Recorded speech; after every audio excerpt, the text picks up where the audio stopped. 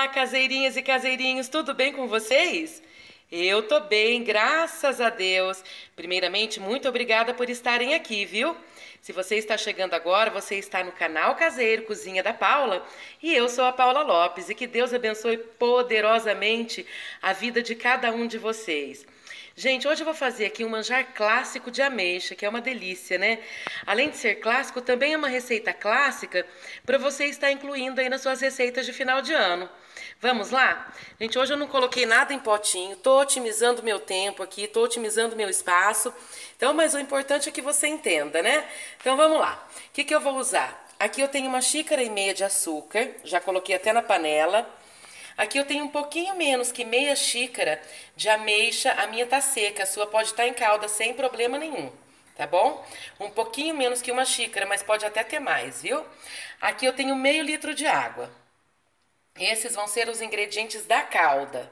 Agora, para o manjar, eu vou estar tá usando meio litro de leite, uma caixinha ou latinha de leite condensado, uma de creme de leite, um pacote de 100 gramas de coco ralado, e um vidrinho, eu não sei quantos ml tem ali, mas eu já vou ver. Um vidrinho de leite de coco. E quatro colheres de sopa de amido de milho, que a gente pode estar tá usando um pouco mais ou um pouco menos, dependendo da, da qualidade da textura do seu, tá? Então, além daquele leite que eu vou estar tá usando meio litro para o manjar, eu vou estar tá usando também um pouquinho a mais para dissolver o nosso amido. Então, vou começar aqui com a calda, para ir adiantando. Vou só colocar água aqui nesse açúcar. E as minhas ameixas.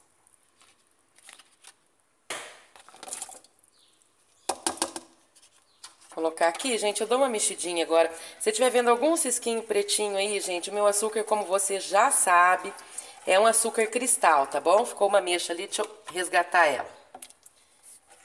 Então tá aqui, eu já coloquei a minha mexa, o açúcar. Eu só vou mexer essa calda nesse momento e não mais. Não mais. Então tá aqui, já tô adiantando porque agora esse açúcar vai derreter um pouquinho aqui na água. Vou tampar a nossa panela e deixar quietinho. A calda tá lá descansando, eu já dissolvi aqui o meu amido de milho, já medi o meu leite e coloquei aqui o leite condensado na panela. Então agora, ó, eu vou agregar o leite. Opa! Eu vou agregar o leite, o leite de coco.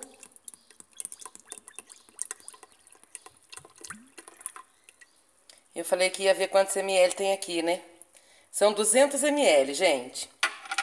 E o coco ralado. Todo esse coco. E agora, eu só vou mexer isso aqui e levar pro fogo. Eu tô deixando de lado ali, ó, já começa a dar uma misturinha cheirosa aqui que você não faz ideia. Dá até para pingar. Você pode até pingar aqui umas gotinhas de essência de baunilha, tá? Então, só vou agregar aqui e levar pro fogo. Tô deixando separado, gente, o creme de leite que eu vou pôr no final e o amido de milho. Ah, por que, que você já não coloca o amido de milho aqui como a maioria das receitas? Porque, gente, eu acho uma perca de tempo a gente ficar lá mexendo esse amido, porque esse leite eu posso deixar ele aqui quietinho enquanto eu vou fazendo outras coisas e depois engrossar com amido de milho. Se eu coloco ele aqui no começo já, eu não posso parar de mexer em momento algum. Então é isso. Então agora eu vou levar tudo para o fogo. Coloquei ali a minha calda das ameixas em fogo baixo, tá bom? Aquilo ali eu não vou ficar mexendo. E aqui, como eu já agreguei bem, também não tem necessidade de eu mexer o tempo todo, mas de vez em quando eu venho e dou uma mexida. Eu gosto de espaço para quando eu vou fazer alguma coisa com amido de milho, tá? Então eu peguei uma panela maior. E a hora que isso aqui estiver fervendo, eu volto. Gente, eu achando que estava gravando, eu tinha apertado para tirar foto e estava ali, sabe? Achando que estava gravando e não estava era nada, mas deixa eu te contar o que, que aconteceu aqui. Olha, a calda tá ali reduzindo ainda.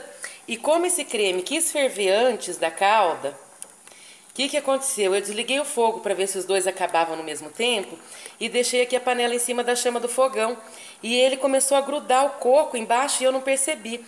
Então, esses pontinhos escuros que você está vendo ali, ó, foi um coco que dourou naturalmente. Gente, tá grosso de coco e leite de coco. Aí o amido, a hora que eu coloquei a metade daquele que eu tinha dissolvido ali, é que eu achei que estava gravando e não estava. Só que eu já percebi que eu não vou ter que usar todo ele, ó. Só o coco e o leite de coco já tinha dado uma engrossada nisso aqui. E como eu não cozinhei esse amido antes, agora eu já liguei o fogo novamente, tá? Como eu não cozinhei o amido antes, agora eu vou pondo ele aos poucos aqui. Já abaixei o fogo e fico aqui, cozinhando ele até eu ver que ele tá no ponto que eu quero. Ai, que dó que meu coco pegou, mas ficou tão saboroso, gente, que se eu quisesse fazer, se eu quiser um dia repetir isso, eu não consigo. Ó, aqui ele já estaria quase, quase no ponto. Eu vou pôr mais um pouquinho, por quê? Porque ainda vou colocar o creme de leite, que vai dar uma amolecida, né? E a calda, gente, eu vou querer o meu realmente bem, bem molhado de calda, bem caldoso. Se você quiser fazer menos, você pode fazer menos. Ó, aqui, já, às vezes a gente faz as coisas com uma mão só, né? É onde acaba se perdendo um pouquinho. Tá vendo que tá querendo pegar o fundo da minha panela, mesmo em fogo mais baixinho? Eu vou pôr só mais um tiquinho, porque depois que eu colocar o creme de leite, ele vai soltar. Mas aqui já tava no ponto. Aí tá um vento aqui entrando pela janela que tava quase apagando o fogo.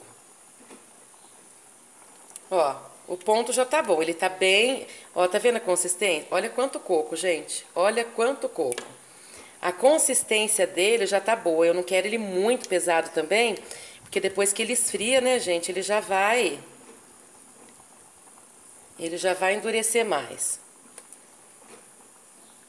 Então, vou só mexer aqui mais uns dois minutinhos para esse amido acabar de cozinhar.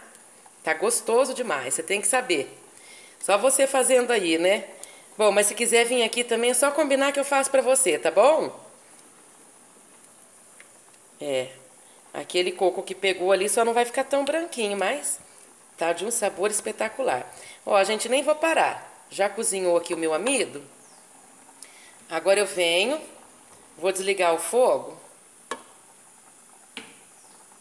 Desliguei o fogo aqui, eu acrescento o nosso creme de leite. Se você, por acaso, não quiser colocar o creme de leite, você deixa ele um ponto a menos do que isso aqui, tá? O meu ficou bem durinho. E tá pronto, só agregar tudo aqui tá pronto. Como eu quero ele bem cheio de calda, também a calda já tá saindo. Ali eu já separei uma forma que eu também tava mostrando para vocês e achando que tava gravando e não tava. Não precisa molhar, não precisa fazer nada com a forma. Só vou acabar de agregar aqui, gente, e volto pra gente finalizar. Deixa eu conferir se eu tô gravando, né? Olha, gente, aparentemente minha calda tá pronta. Eu não quero ela muito grossa, então ela tá pronta. Aí vai ficar do seu gosto. Vou desligar o forno, o meu creme tá ali esfriando um minutinho. O forno não, né? O fogo. Vou desligar o fogo e venho com ela direto aqui nessa forma. Ai, que delícia. Gente, a combinação de ameixa com coco é maravilhosa, né? Agora eu só vou espalhar aqui, ó, Vou espalhar minhas ameixas. Se você quiser guardar aí umas duas ou três, para depois, na hora de você desenformar, caso não fique muito do seu gosto, para você decorar de uma forma mais especial, aí você fica à vontade. Então tá, meu creme esfriando ali, vou deixar uns 5 minutinhos assim, ele não precisa estar tá frio, gente. Só perder o ponto de fumaça, tá bom? Enquanto isso a calda também dá uma esfriada aqui. A calda deu uma esfriada ali uns 5 minutinhos. É 5 minutos, gente. Ó, só você mexeu e não sai mais fumaça, já pode informar. Gente, como isso é gostoso, né? Ó, tá aqui na forma, tá mole, né? Então, o certo agora seria eu deixar por umas 3 ou 4 horas na geladeira. Como eu tô gravando outro vídeo para vocês e quero acabar esse aqui para liberar a memória do, do celular, eu vou pôr no freezer eu creio que aproximadamente daqui uma meia hora já vai estar tá prontinho para desenformar. Gente, ó, você pegou a forma, ela tá bem geladinha. Agora eu vou vir com a faquinha aqui do lado, eu acho que nem precisava. Pedir pro filho aqui segurar o celular para mim, para eu poder desenformar juntinho com você. Eu vou passar a, a faquinha aqui por uma precaução. E agora eu venho na vasilha que eu quero não sei se isso aqui vai me atrapalhar, hein? Deveria ter tirado, né? Mas vamos lá, vamos ver.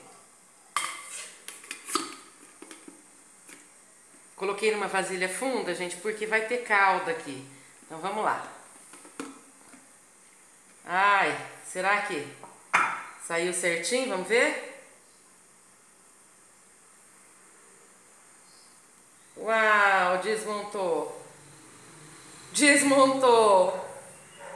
Desmontou, eu deveria ter desenformado com mais cuidado. Ah, gente, mas eu não vou perder esse vídeo não, ó. Com certeza o sabor tá muito bom aqui. Foca o lado mais bonitinho aí, meu filho, por favor. Fazia tantos dias que eu queria mostrar essa sobremesa para vocês e hoje que eu fiz, né? Desmontou um pouquinho ali, ó. Eu acho que eu forcei demais a, a forma de um lado. Mas se você é daqueles que acha que importa, o importante é o sabor, tá valendo. Bom, gente, esse foi o nosso vídeo de hoje. Espero que você tenha aproveitado a dica aí. Muito obrigada por estar aqui e até o próximo.